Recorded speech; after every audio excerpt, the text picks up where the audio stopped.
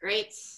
Okay, it's six o'clock, so it's time um, for uh, our next community stream with the MIT Enterprise Forum. Uh, this is the September 17th edition, uh, 2020. So welcome everybody. It's good to see you, quote unquote, again. Um, and we are very excited today to have a conversation with Michael Schrage, who's here with us. Um, Michael's a research fellow at the MIT Sloan School of Management um, at the Initiative on the Digital Economy. And he's a sought after expert on innovation, metrics, and network effects, and the author of several books, including Who Do You Want Your Customers to Become? The Innovator's Hypothesis How Cheap Experiments Are Worth More Than Good Ideas, and his newest book, Recommendation Engines, which uh, we might focus on a little bit today. So, um, welcome, Michael. Yes. Yeah, yeah, That's yeah. my expectation. Yes. Yeah, yeah. We, um, uh, my household just finished reading it, and it was excellent. Um, and so, thank you for the copy. I forgot to say, and congratulations on the latest achievement. Yeah.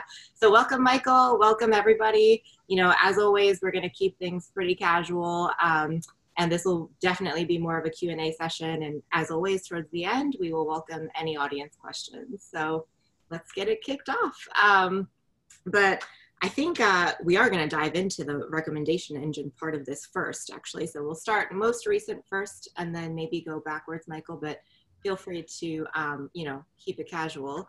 So, uh, you know, maybe we'll jump off with a question on what do people misunderstand about recommendation engines first and then you know we'll see where that takes us so what do you think i like that question for two reasons number one it's a way of getting into recommendation engines recommendation engines whoops, yeah, whoops. Yeah. Oh, it's not coming through well so much for that but the other is, is that it's partly a trick question because mm. i think that pe- what people misunderstand about recommendation engines is what makes them work mm-hmm. or not work and how intimate they are. Yeah. And the reality is, to my mind, the single most important thing that's been going on in recommendation engines and what people don't really understand is that right now, recommendation engines are probably the most sophisticated, scaled application of machine learning and deep learning around. Yeah. You look at TikTok, which is become a hot global trade issue, a privacy issue. And you know, people think that TikTok is a video or pop culture thing. TikTok is a recommendation engine company. You've heard of the phrase born digital. TikTok was born recommender. Mm-hmm. So what we have now increasingly is the application of deep learning and machine learning so that recommendation engines learn about you. They learn about you. And this is, you know, the phrase that I spent a lot of time on unpacking in the book is the, the, the Japanese perception, the Chinese perception, the American perception, and the Swedish perception because of Spotify is these companies want the recommendation engine to know more about you than you know about yourself. Right. Spotify wants to know more about your musical taste. Uh, TikTok wants to understand what you're going to produce and share.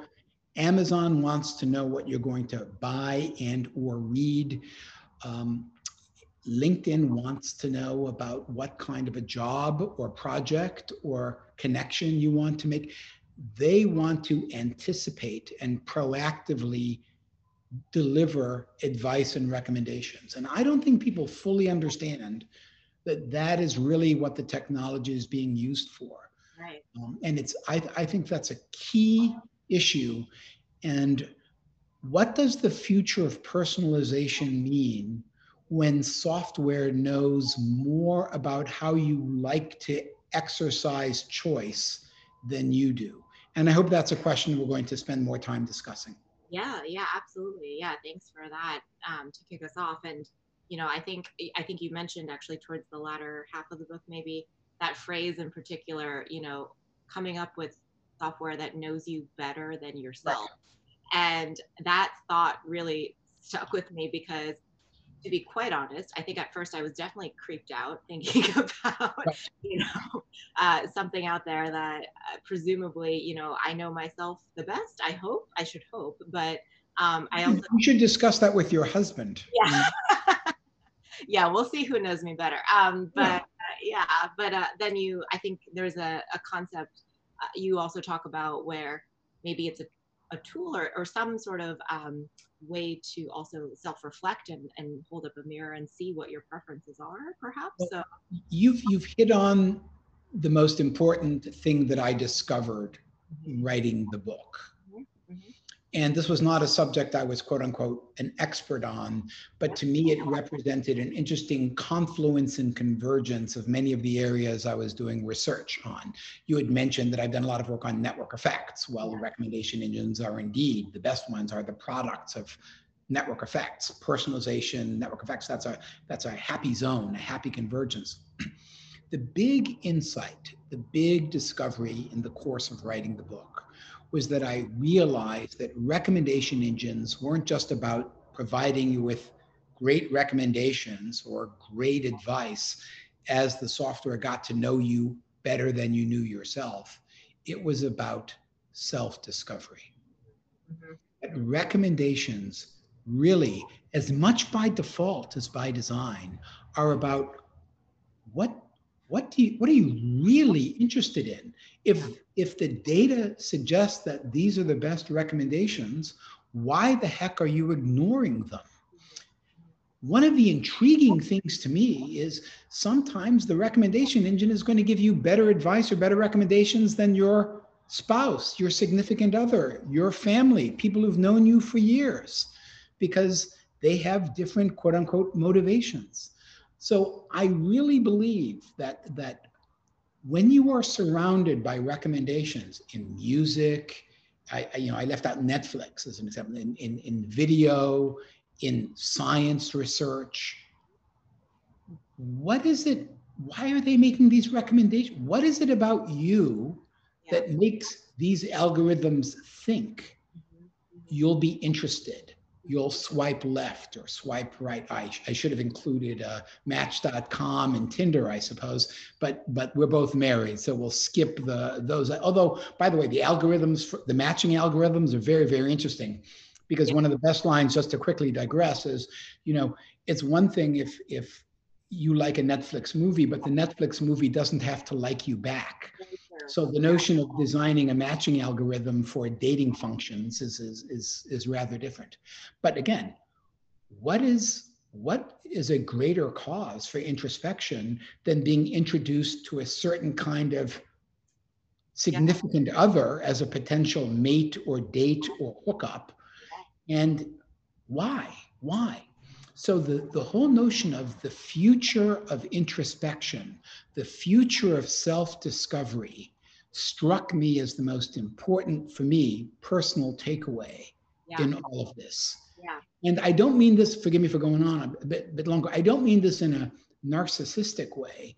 I really mean it in a way that that if you really want to develop as a person, if you really want to connect with yourself as well as with other people, shouldn't you be looking to technologies that give you rational, rational, reasonable, and plausible insight into good advice, recommendations that matter to you? I, so I was blown away the more I paid attention to it, to the notion of the future of self and the future of agency. Yeah, yeah. I mean, I think that's uh, to be quite frank, very profound because, you know, when when you mention TikTok, immediately my mind goes to, you know, some social media app of videos that I'm too old to understand. Like that's my definition of TikTok. Um, but I think it's, I think that's actually a really fascinating angle to it because when I, uh, you know, being a little bit of a Luddite myself, when I think about technology sometimes, uh, my conclusion, may be outdated, is that it actually gives you all these distractions, right? Like it's sort yes. of like an outlet where you can you can you know watch a video or you know talk to somebody or scroll through some pictures and be mindless. Yeah, mindless. exactly and what is that actually doing for you so i think this perspective of you know that aiding your self-development and introspection Interesting. Actually, I love how you're putting that because you know there's this famous line from the economist uh, uh, Kenneth Boulding, which I love and I've used frequently, is that he said that you can divide the world into two groups of people: those who divide the world into two groups of people and those who don't. And what you've identified is a very interesting demarcation, because for many people, social media and the internet, it's a way to become mindless. Right. You know, right. Recommendation engines, even TikTok yeah can if if you if you have a healthy relationship yeah can become a medium a mechanism a platform to become more mindful okay. more intentional yeah. more self-aware yes it is true that tiktok is designed explicitly in some dimensions to to become addictive that you default to the next one yeah. you know that you but but at a certain point you're going to begin to ask yourself why? I mean, I, uh, maybe people don't ask themselves, but at a certain point, you have to ask, why these videos? Yeah. Why this dance move? Why this music? Should I explore alternatives? Yeah. And, and and once you begin asking yourself, once you become more mindful and intentional, because there's a reason why you're being shown those videos, there's a reason why you're hearing that music, there's a reason why you're being introduced to these people on, at, on Facebook or, or on Instagram um, the moment you begin to become more intentional, yeah, that's a real journey of self-discovery. Yeah. And and here's the trick. The trick is the algorithms had better be smart enough to recognize not, oh, this person wants more of the same, right. that there needs to be different kinds of novelty, yeah. serendipity, yeah. relevance, discovery. Those are the axes of innovation for recommendation systems that endure yeah i think yeah that's another great point is that you know just the the monotony or whatever you want to call it of being re- recommended the same yes. thing over and over again is not going to do anything or keep anyone's interest right so where's that like slight differentiation or what what what makes that relationship um, from the previous thing that you clicked on to the next thing like close enough, right? that it's gonna. But, but, but, but look at what you're saying. Now, now I'll do the the truly creepy thing. Okay. The truly creepy thing is, we have this with quote unquote our friends and our family. At a certain point, you know, we can predict how our significant other or our friend or our sibling or our parent is what we know what they're going to say. Right. And and at a certain level, we become complacent or dare I use your word, mindless uh-huh, uh-huh. in, in our dealing with them. And so it's going to be interesting to see whether to connect the two dots here, does a recommendation engine that knows you better than you know yourself become more exciting, more provocative, more intriguing, more interesting than a friend for 15, 20 years who let's be blunt, you've become a little, the inertia has sort of taken over yeah. on this. You've become complacent. Right. Recommendation engines that become complacent get abandoned, yeah. they fail. So there's sort of a market mechanism aspect here.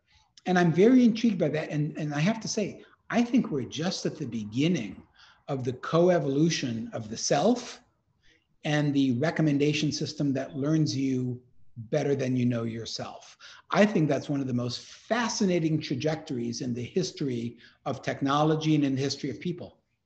Yeah, definitely. And I think I, I can, you know, even within my lifetime and within the last 10 years of my lifetime, probably, I remember when uh, the maybe the beginning of the beginning when these kinds of mechanisms were being rolled out and i i always remember thinking they were not very good actually like you know right. the amazon you know, if you like this, you should buy this. And it was never anything I was interested in. And now the old style, you know, yeah. there was people like you, there was using k-means clusters, item to item similarities, people like you, what are the dimensions of that? And yeah. they were perfectly, you know, those content recommenders, those collaborative filter recommenders and the hybrids, perfectly good. Yeah. But what happens when i mean what was one of the real revolutions of something that i spend a lot of time in the book discussing the netflix prize from over a decade ago you know it, it used to netflix used to encourage you as did as did by the way facebook you would do certain ratings, explicit ratings. But what did we discover? What did the Netflix prize, in the wake of the Netflix prize, etc., what did we discover? We discovered that implicit behaviors. Matter more than and have greater predictive validity than explicit ratings. Mm-hmm. So in other words, you know, what you do matters way more than what you say in terms of recommendation oh, right. and in terms of advice. Mm-hmm. And this is key. So we can all say that, oh, I, I really look forward to this documentary on the future of sustainability because, you know, the survival of planet Earth is key. And, you know, MIT Men's and Women's, we have a special obligation to be up to date on how to preserve the environment, particularly with wildfires on the Pacific Northwest and California. Oh, the carbon emissions. But the reality is, you know, we're waiting for the next season of Mrs. Maisel to drop. Right, exactly. So, so that's going to be one of the other aspects of introspection. What happens when you audit these recommendations yeah. and you discover who you really are right. as right. opposed to how you would like to project yourself. Yes, exactly. And I think, um, yeah, really salient point because as, as we've talked about, I, I work in data and analytics and yeah. I would love to know actually what my own sort of data set looks like in that regard. But I think you're absolutely right. And, you know, having worked in psych and social service, the social sciences, I should say myself, you know, there's this idea of um, social desirability you know that's always a thing like even on surveys or if you ask somebody a question to self-report on any matter they're not going to exactly tell you the truth right they might not lie but they might not you know actually reflect the real ground truth now you're getting to the great ethical question i have here an Oura ring on uh-huh. my finger Saw that, what's, yeah. more, what's more believable my quantified self exercise sleep right. behavior or yeah. the the 20 question questionnaire the the ER or the doctor's office gives me to answer in right. this Right. I think that's pretty clear. Right. But actually, I want to go because we did have the opportunity to talk before. Yeah.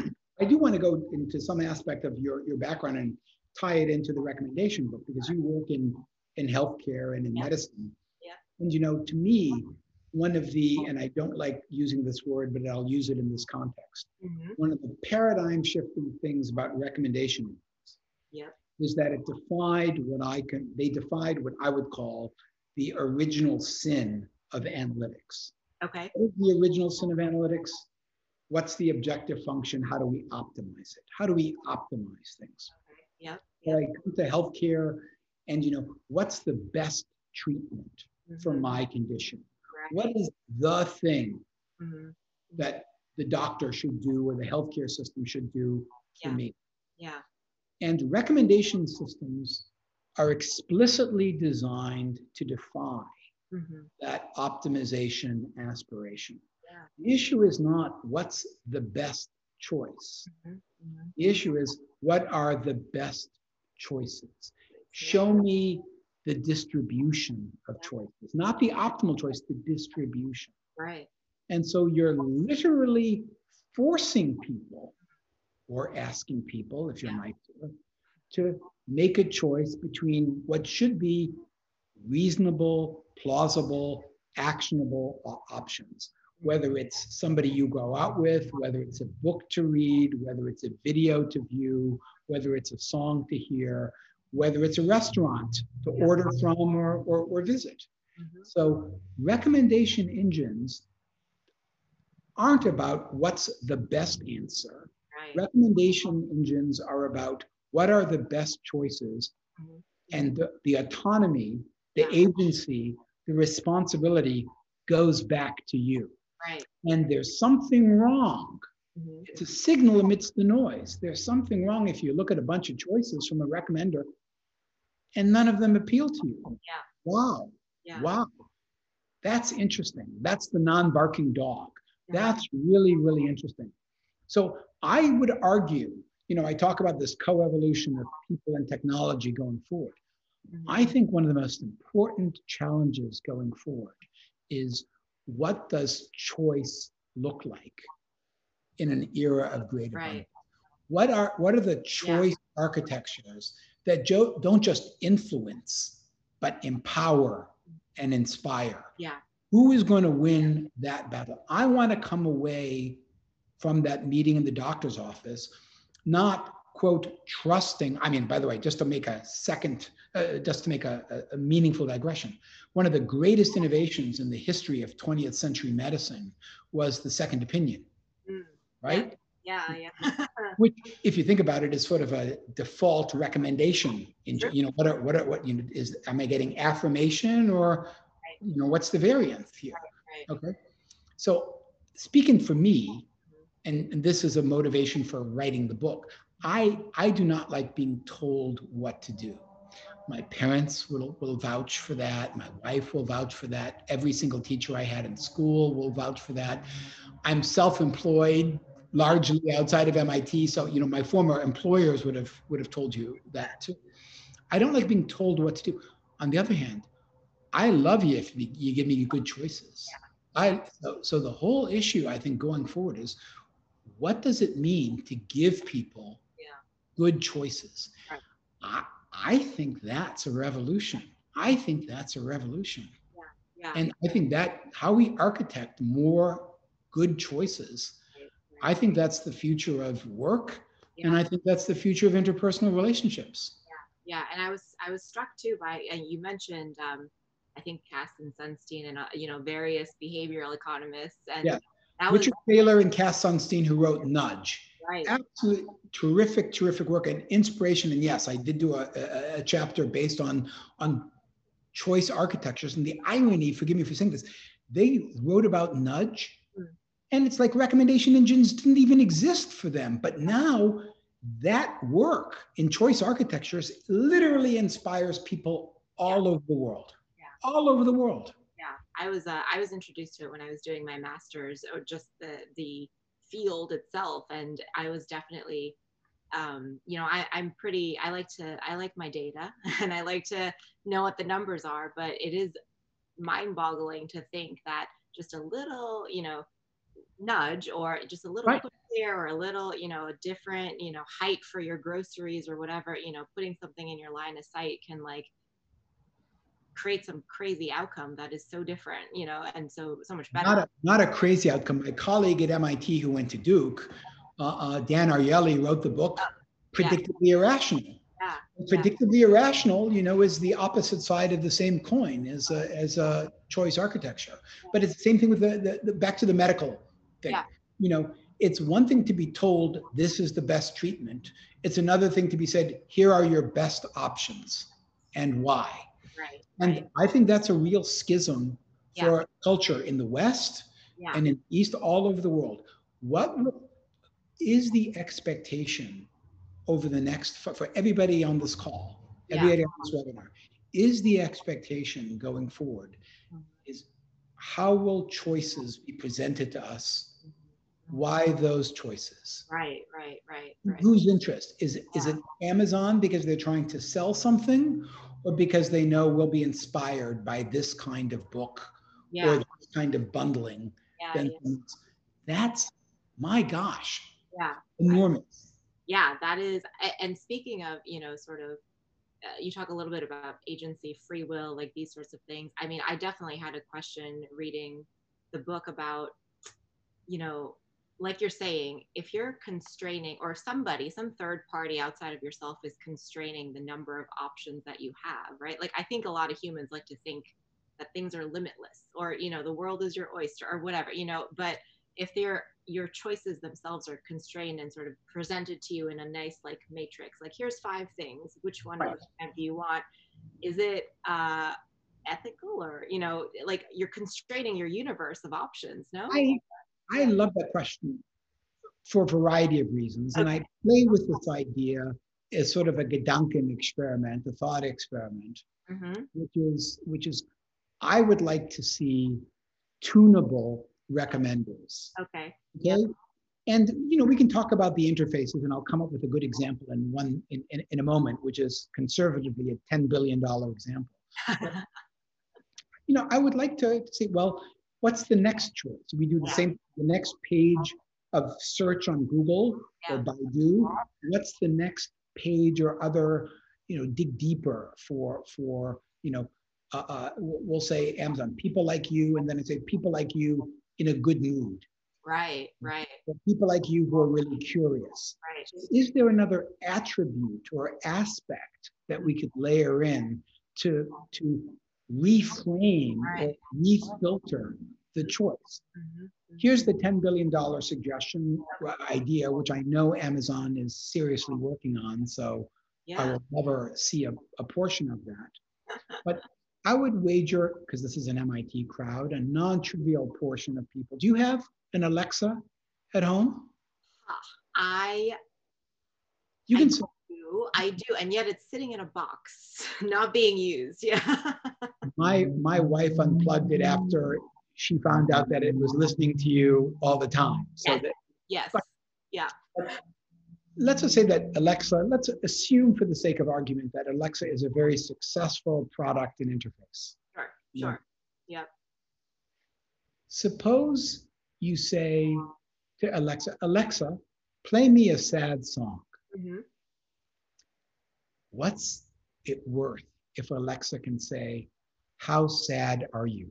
Mm. Yeah, yeah. Alexa, I would like Chinese food. Yeah. Would you like wontons? Yeah. What happens, and I'm picking this because of the voice interface, not just the visual interface. Yeah. What happens when a dialog mm-hmm. can play a role in framing those expectations? Right. I want non-spicy. We're back to learning more about you. Do you want Alexa proactively, not just answering, but we can't do that, but how about this? Right, right, right. Yeah. Yeah.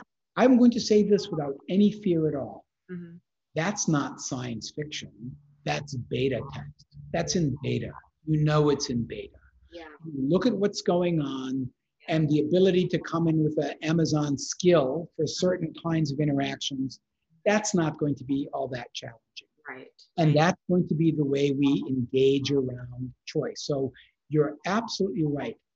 Who gets to put constraints on the choice? Mm-hmm. Okay, how do we empower the mm-hmm. user mm-hmm. to challenge, flex, mm-hmm. or loosen those constraints, or even redefine right. those constraints? Right, right.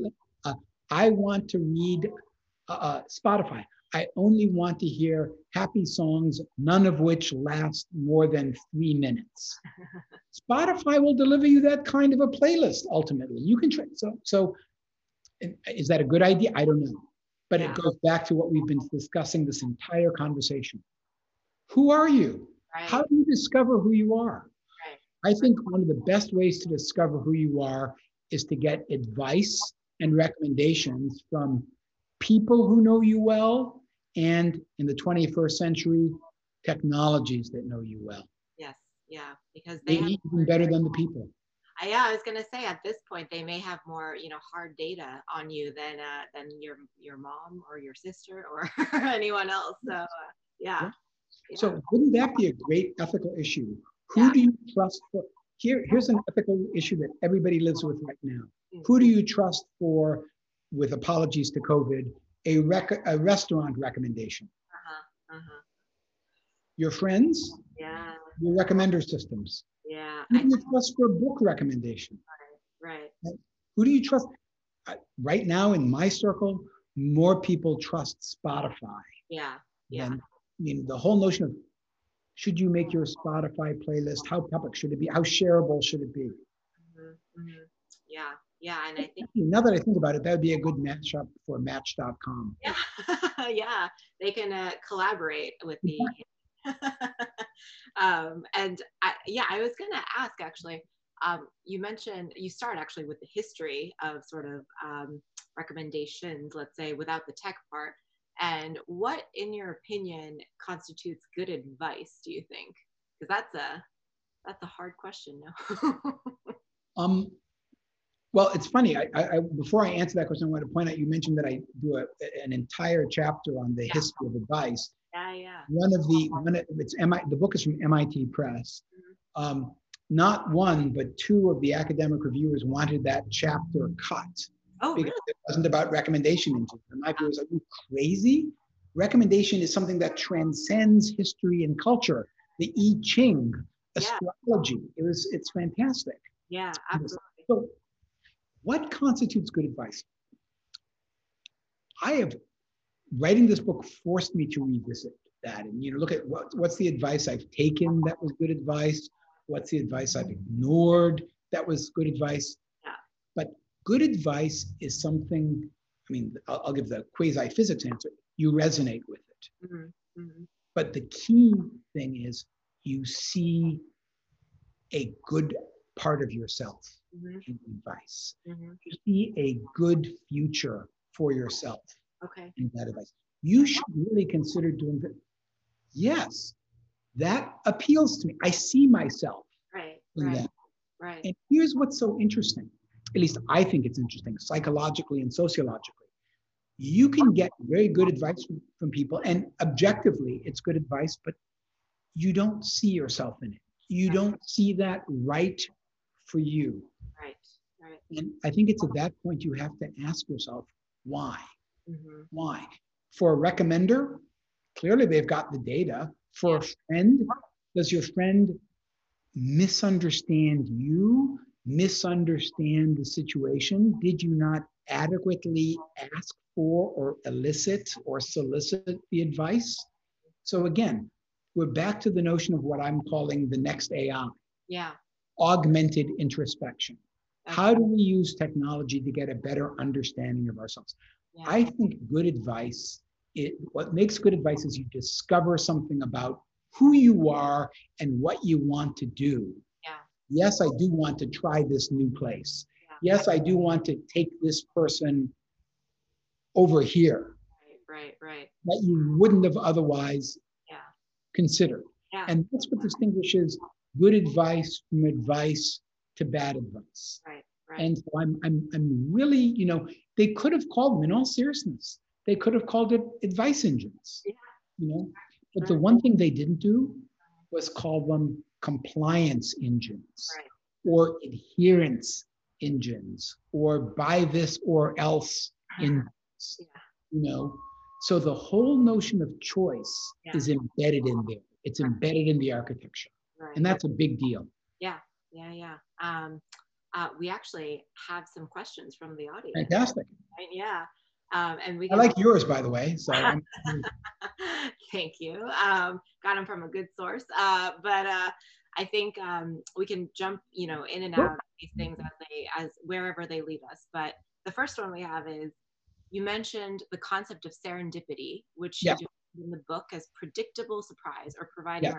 Recommendations that users like but wouldn't have expected. Can you go into more detail about the role of serendipity in recommendation engines and how it's implemented in practice? Okay, yeah, I think we we started talking about that a little bit. Yeah. Yes, um, that's an excellent question. Um, you know, serendipity. There's the famous uh, essay by by uh, uh, Robert Merton on the Prince, you know, Prince, uh, the, the, the, Prince of Serendip. Um, you know, it's a happy discovery. Mm-hmm. Um, serendipity is about, well, let me step back because I want to put it in a probabilistic mode. Okay. Know, serendipity is you, you roll, you're, you're, rolling dice and you get numbers, lucky 7 mm-hmm. Okay. For recommendation engines, they're trying to load the dice, mm-hmm. load the probabilistic, statistical, stochastic dice so that you get something that's at the edge of relevance and diversity. Yeah. Um, but it, it, it, it, it, it's the intersection there that you're surprised. Yeah. And it's a happy surprise right. on this. Because serend if, if it's just another flavor of ice cream, you know, it's it's it's like ice cream with gosh, you know, what would be serendipitous? I haven't eaten ice cream recently on this, but is you, you, you discover um, calorie-free ice cream or ice cream that can go, um, you know, let's let's let's do the the molecular gastronomy thing. You know, uh, uh, ice cream which is a flavor that you would never have associated right. with, with with with it, and so it pops up. You think that you're getting you're interested in ice cream, but this pops up. You don't have remember you don't have to do it. It's but it's there as a recommendation. You said, my gosh, I would never have thought that ice cream would come in, you know, peanut butter or or um, you know, I can't say something like meat or fish because that will put people off for for for dinner. Savory ice cream, yeah. but but this is the thing. This is what this is where the mathematics become so interesting, which is where on the surface space, mm-hmm.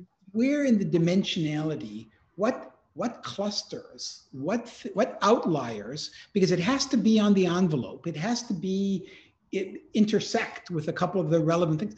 You know, what qualifies as serendipitous? Now, mind you, pun intended, these deep learning things, they're mindless. This is all about feature selection and feature extraction. But there is some latent feature or bundle of latent features that converge and can be found at the intersection here. And that's the nature of, of, of, serendipity. Because let's be blunt, serendipity is about luck. Everybody listening in knows the Zen koan, you know, when the student is ready, the teacher appears.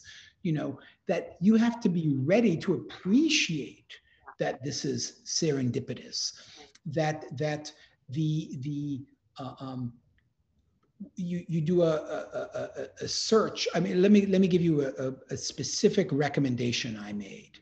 It was turned down by LinkedIn. Okay.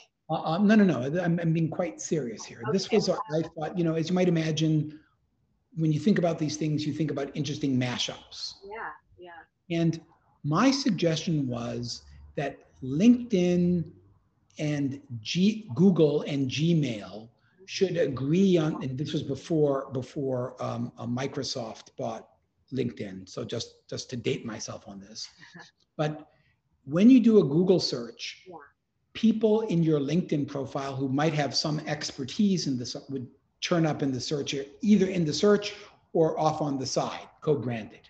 Yeah. You you get that. You don't have to call them, but oh my gosh, I do know somebody who knows something about this. And that's the sort of way you quote unquote load the dice yeah. for serendipity. You create these mashups of what? Data, data frameworks, data architectures, ontologies, metadata that increase your chances for serendipitous slash lucky, yeah. albeit understandably, rationally lucky right. outcomes. Yeah. And I think that's going to be one of the most interesting things. So, so when this this person asks about serendipity, th- those are the dimensions along which I think about about serendipity.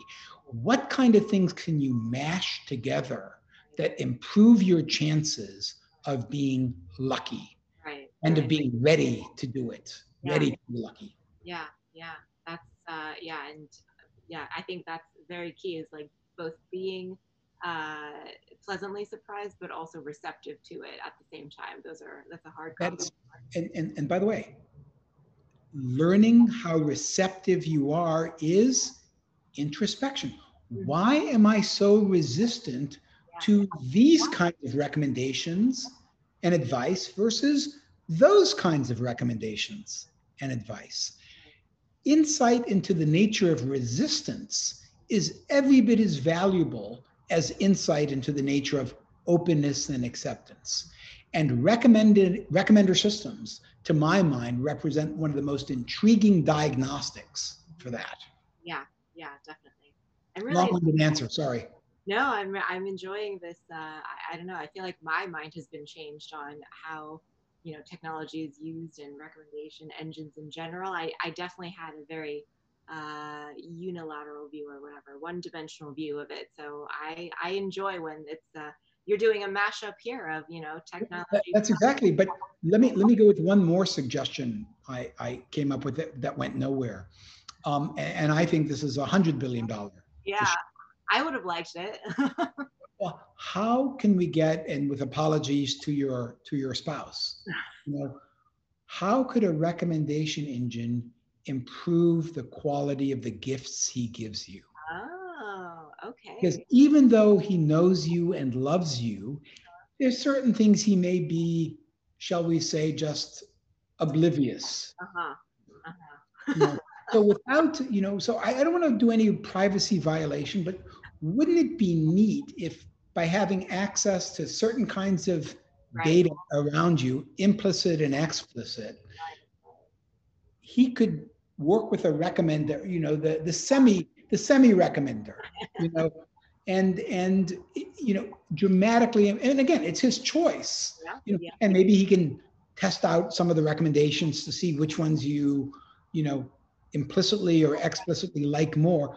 But so it's not just about recommendation for introspection it's about recommendation for insight into relationships as well like god that. knows god knows it would work with my spouse Yeah, I was gonna say I think a lot of spouses would enjoy that idea, and it, it's not just uh, and it, it's not just for one person, for both. You know, that's uh, it's hard sometimes to get people to enjoy. Serious point from the book Yeah. one of the biggest challenges netflix has hmm is coming up with recommendations for couples Uh, based on mutual playlists Yeah. And families yeah. with Yeah. certain ages. Yeah. You can imagine that learning what a family likes is not the same as learning what dad likes or learning what mom likes or what mom and dad like. The inter- that Venn diagram doesn't work. Yeah. So, so how, if you're Netflix, Mhm. do you develop a recommendation Yeah. ecosystem Yeah. that recognizes Yeah. and acknowledges family viewing Yeah. as opposed to binge watching for you. Right. Right. The, the, these are the machine learning, AI, deep learning questions for the next 10 years. Yeah. That's fascinating, actually. Yeah, because it just I feel like it'll become exponentially harder. Not even it's not linear, right? It's like a Exactly. It's a combinatorial explosion. And given the work that you with drugs, it's like, you know, what's what what happens when you're a combinatorial number of preferences? Do you go for the lowest common denominator? Where are you prepared to push the envelope? right. Right. Right. So, so I, I think it would be interesting to see how many recommend who cuties is being recommended to for couples. Just, Uh-huh. just kidding for the for the contemporaneous aspect for Netflix. Here. Sorry.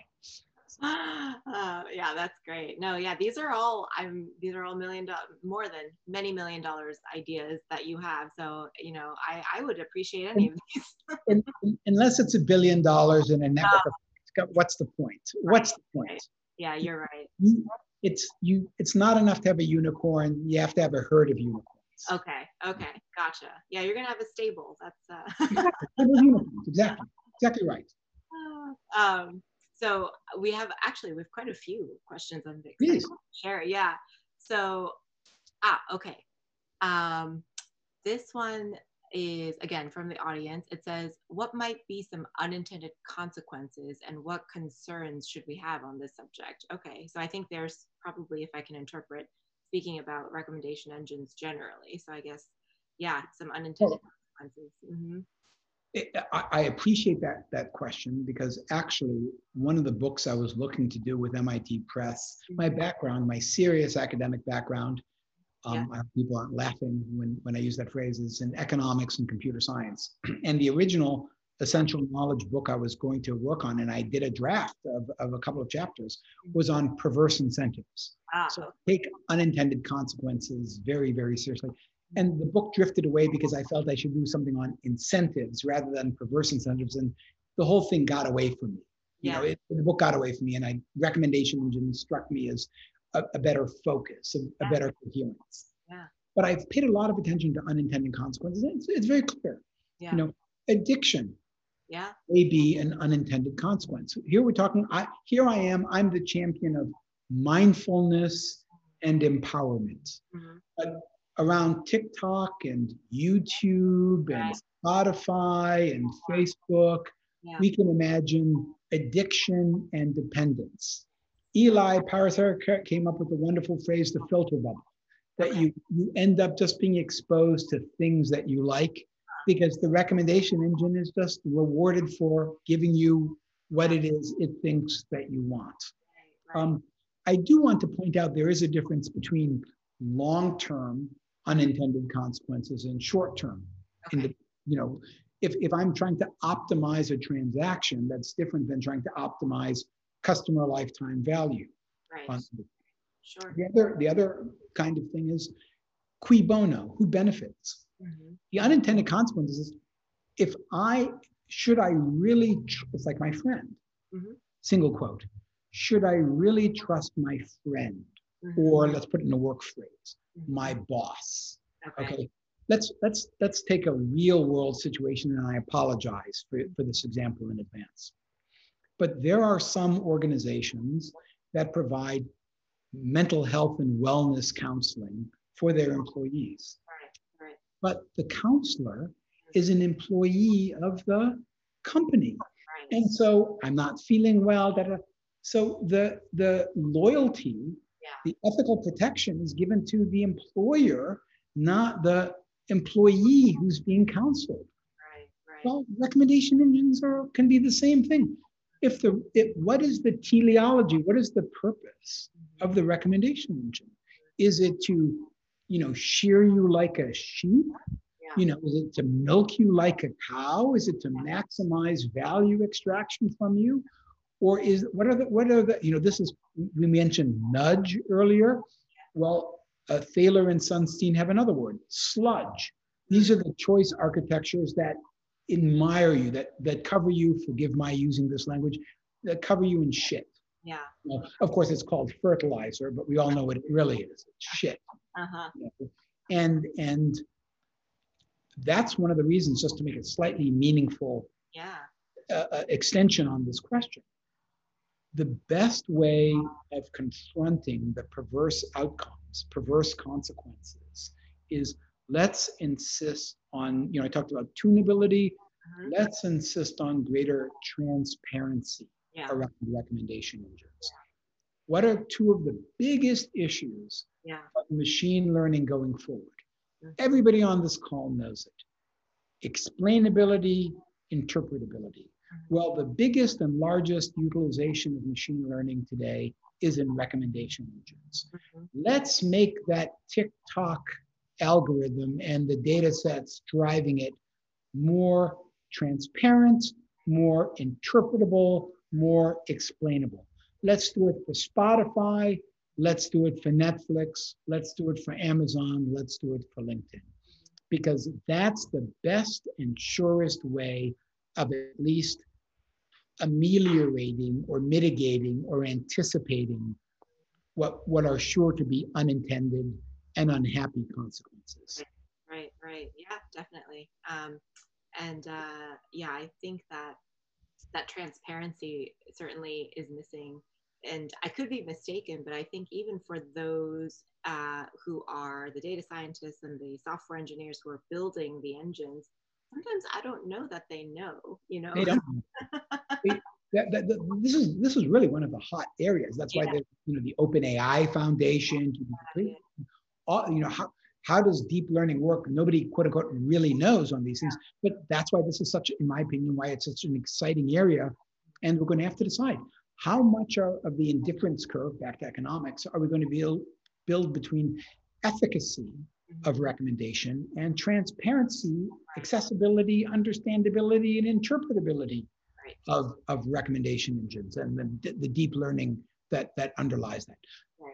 Again, these are they're already huge issues, and I think it's one of the reasons why China doesn't want to make TikTok too transparent, because TikTok has, by any definition you wish to apply, one of the most successful and effective recommendation systems in the history of the world.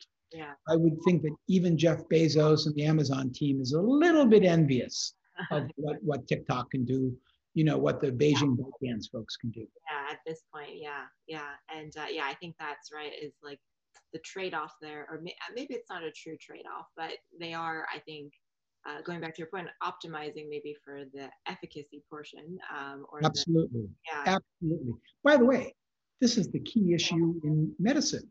What's one of the most important ethical issues? Informed consent. Yeah.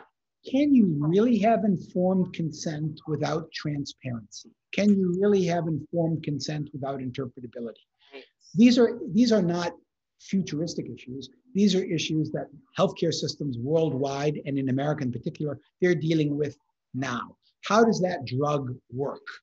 Why are there these uh, uh, uh, negative effects? Yeah. Yeah. We want transparency and visibility into that. Yeah. Yeah. yeah, definitely that hits home for me because you know, as we mentioned, my uh, currently work in healthcare and informed consent is always uh, an interesting and thorny issue. I will leave it at that. uh, okay. Um, oh, more questions. Okay, so uh, interesting. Oh, you know, we we've been delving deep into like the the ethics and sort of, I would say, going beyond the tech of recommendation engines, and this one right. really is interesting on that point. Um, the question is, should recommendation engines be available to law enforcement, public health, and safety authorities to identify individuals likely to harm others? Interesting question. Well, there was a movie based on that called Minority Yeah. Report. Yes, And yes. instead of recommendation engines, they had zombies in in, in uh, a, a amniotic fluid. or Yeah, yeah. Let me be very blunt. These things already exist. Uh-huh, They already exist. uh-huh. You know, the New York back when when and I'm I don't mean to sound political saying this, but back when New York took crime seriously, Mhm. you know, uh, the New York Police Department helped pioneer what was called CompStat, Oh, yes. which yeah. was a statistics. It was originally, you know, that's all together now, descriptive Yeah. st- st- statistics that ultimately became predictive Right. and prescriptive statistics. Gee, we're seeing these kinds of activities in these neighborhoods. Where should we be staging Right. the cars? Yeah. Should it be a, a, a, a labeled car to be a form of deterrence, or should it be a, you know, a unmarked car so that we can actually get further insight into what looks to be nefarious activity? Yeah. So these things already exist. The UK already has quote unquote a nudge unit Hmm. that that looks to incorporate nudges and things like getting people to pay their taxes, Hmm. to to take public health measures. Yeah. Uh, we see this in pension. We, we see all manner of things where the notion of recommendation is linked to actually evoke action, not just to inform choice. Mhm. So this is actually, I want to deal with this explicitly because this question raises this point. Mhm. There is a difference between informing public policy with better recommendation and linking that information with choices that people make or have to make, that the cops need to do this, that the contact tracers, we recommend you do this. So now, mind you, I believe that everybody should honor the law and respect the law. But the, the hidden aspect of that question is innovative recommendation creates ethical issues. Mhm. Okay? Everybody knows that somebody who has been getting really good advice not to do something and they're doing it anyway. Okay? So, so uh, here's the ethical question I've asked. It's a medical question. And I, this is a question that has haunted me. I sell, give advice. I, I am a human recommendation engine. Mhm. Even when I'm well paid, Mhm.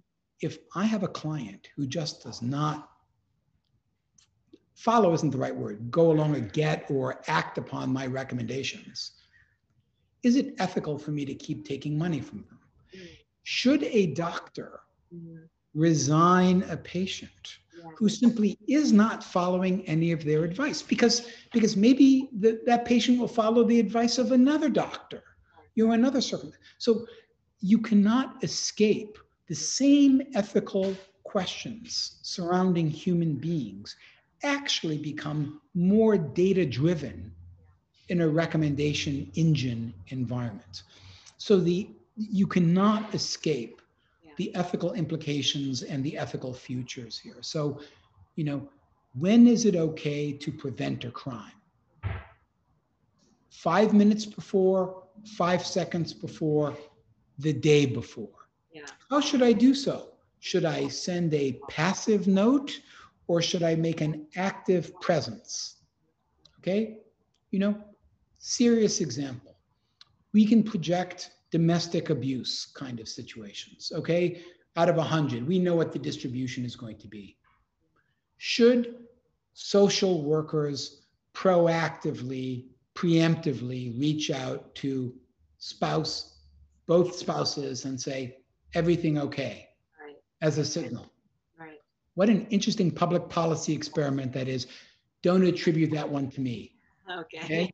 Got it. But, but is that an unrealistic? You know the statistics. Is that an unrealistic public health initiative?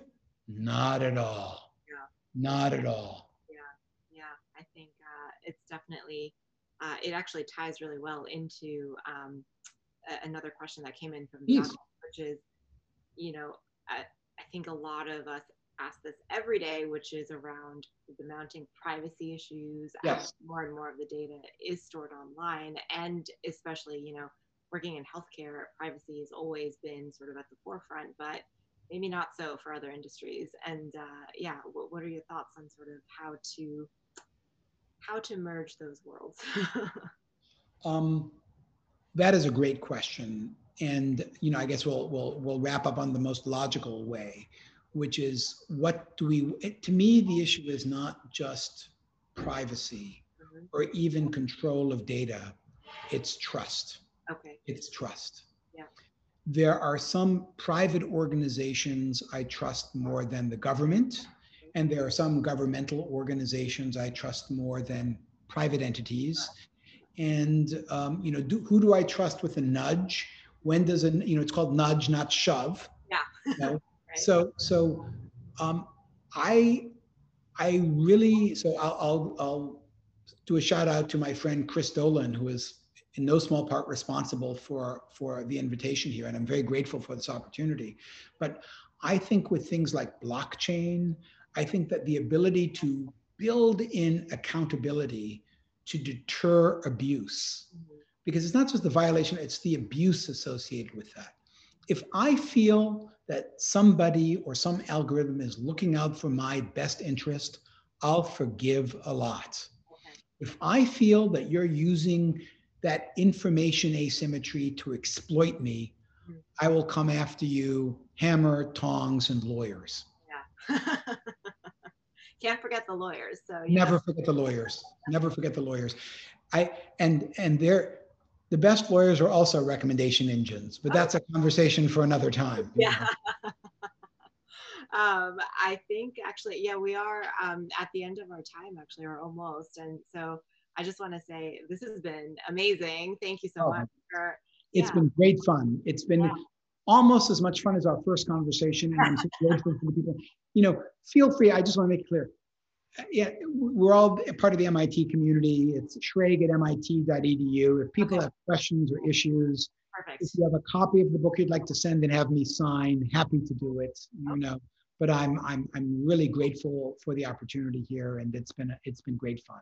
Thank you so much. Yeah, thank you, and thank you for your time and and recommendation engines out now. Um, thank you so much, and I may send mine for you to sign. That would be awesome. You are you you are you are too kind. I'll put I'll make sure there's a heart.